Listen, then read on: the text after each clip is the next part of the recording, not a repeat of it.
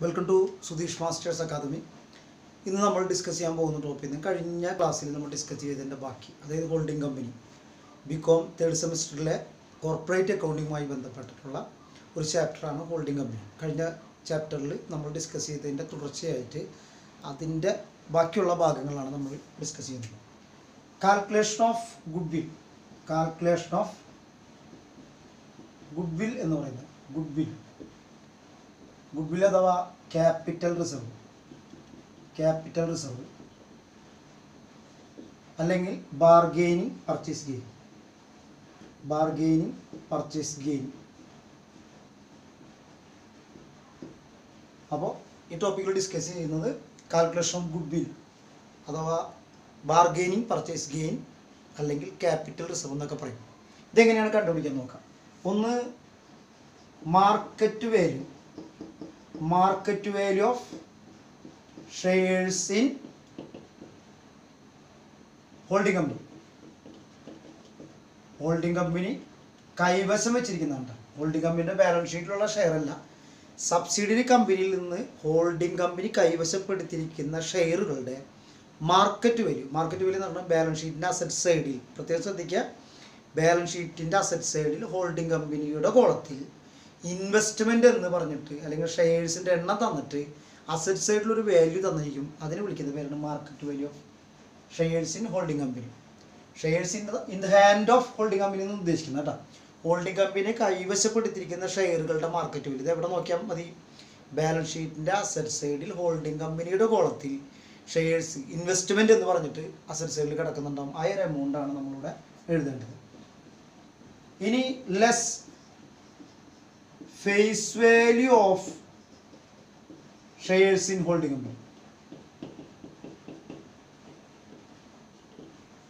അതായത് നേരത്തെ നമ്മൾ പറഞ്ഞ പ്രോബ്ലത്തിൽ അമ്പതിനായിരം ഷെയറിൽ നിന്ന് മുപ്പതിനായിരം ഷെയറാണ് ഇവർ കൈവശപ്പെടുത്തിയിരിക്കുന്നത് ബാക്കി ഇരുപതിനായിരം ഷെയർ അതായത് ഇവർ കൈവശം കൈവശപ്പെടുത്തിയിരിക്കുന്ന ഷെയറിന്റെ ഫേസ് വാല്യൂ അപ്പോൾ ടെൻ ആണെങ്കിൽ ഈ twenty thirty thousand into ten അതാണ് ഉദ്ദേശിക്കുന്നത് ഫേസ് വാല്യൂ എന്ന് സാധനം. അപ്പോൾ അസറ്റ് സൈഡിൽ കിടക്കുന്ന വാല്യൂ ഇതും തമ്മിൽ വലിയ ബന്ധം ഉണ്ടാവണമെന്നില്ല അസറ്റ് സൈഡിൽ ഒരു മാർക്കറ്റ് വില എനിക്ക് എഴുതിയിട്ടുണ്ടാവുക. ഇവിടെ അതിന്റെ യഥാർത്ഥ വിലയാണ് നമ്മൾ ഇവിടെ എഴുതുന്നത്. ഇന്നർ കോളത്തിൽ എഴുതുകയാണെങ്കിൽ കുറച്ചും കൂടി എളുപ്പമായിട്ട് ചെയ്യാം. പിന്നെ ലെസ് തന്നെ ക്യാപിറ്റൽ പ്രോഫിറ്റ് ഓഫ് മെജോറിറ്റി നമ്മൾ നേരത്തെ ക്യാപിറ്റൽ പ്രോഫിറ്റ് രണ്ട് പേർക്കായിട്ട് ഡിവൈഡ് ചെയ്തിട്ടുണ്ട്. അതിൽ മെജോറിറ്റിയുടെ ഭാഗം മെജോറിറ്റിയുടെ പോർഷൻ എന്താണോ അത് എന്ത് ചെയ്യുക? കൂടി കൂട്ടി.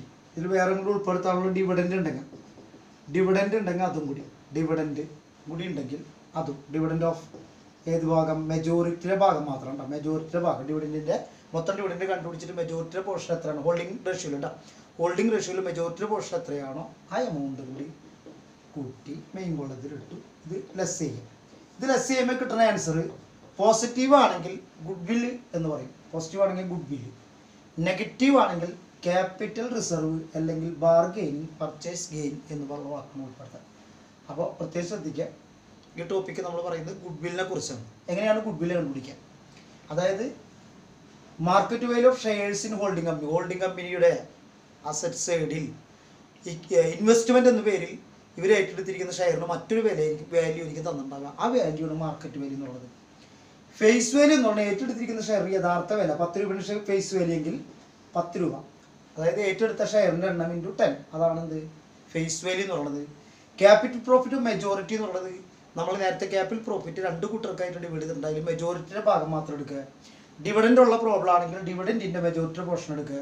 ഇത് മൂന്നും കൂടി കൂട്ടിയിട്ട് അത് ഇതിൽ നിന്ന് കുറക്കുക? ഇതിൽ നിന്ന് കുറച്ച് കഴിഞ്ഞാൽ പോസിറ്റീവ് ആണ് കിട്ടിയിരിക്കുന്നതെങ്കിൽ ഗുഡ് വിൽ എന്ന് പറയും. നെഗറ്റീവ് ആണെങ്കിൽ ക്യാപിറ്റൽ റിസർവ് എന്ന് പറയും. ഇതാണ് ഈ ടോപ്പിക്കിൽ നമ്മൾ നമ്മൾ ഉൾപ്പെടുത്തിയിരിക്കുന്നത്. അപ്പോൾ ഹോൾഡിംഗ് കമ്പനിയുടെ വ്യത്യസ്ത ടോപ്പിക്കുകളാണ് നമ്മൾ തുടർന്നുള്ള ഭാഗങ്ങളിൽ ഉൾപ്പെടുത്തുന്നത്. അതൊന്നിച്ച് പറഞ്ഞു കഴിഞ്ഞാൽ പെട്ടെന്ന് മനസ്സിലാവാൻ ബുദ്ധിമുട്ടുള്ളതിന്റെ പേരിലാണ് നമ്മൾ ഈ ടോപ്പിക്ക് ഈ ഒരു ചെറിയ ടോപ്പിക്ക് മാത്രമായിട്ട് അതിൽ ഉൾപ്പെടുത്തിയിരിക്കുന്നത്. അപ്പോൾ കാൽക്കുലേഷൻ ഓഫ് ഗുഡ് വിൽ അഥവാ purchase gain bargaining purchase gain എന്ന് പറഞ്ഞ ടോപ്പിക്കാണ് ഹോൾഡിംഗ് കമ്പനിയുമായി ബന്ധപ്പെട്ട് ടോപ്പിക്കാണ് തേർഡ് സെമ്മിന്റെ ബികോമിന്റെ തേർഡ് സെമ്മിന്റെ കോർപ്പറേറ്റ് അക്കൗണ്ടിങ്ങിലെ കൺസോൾട്ടേഷൻ ഓഫ് ബാലൻസ് ഷീറ്റ് അല്ലെങ്കിൽ ഹോൾഡിംഗ് കമ്പനിയുമായി ബന്ധപ്പെട്ടിട്ടുള്ള സംശയങ്ങളാണ്. നമ്മളിവിടെ ഡിസ്കസ് ചെയ്തുകൊണ്ടിരിക്കുന്നത്. എന്തെങ്കിലും കോണ്ടാക്ട് ചെയ്യാനായിട്ട് nine seven four five zero six four seven one two എന്ന് പറഞ്ഞ നമ്പറിൽ കോണ്ടാക്ട് ചെയ്യുക. എല്ലാവർക്കും സുധീഷ് മാസ്റ്റേഴ്സ് അക്കാദമിയുടെ എല്ലാവിധ ആശംസകളും നേർന്നുകൊണ്ട്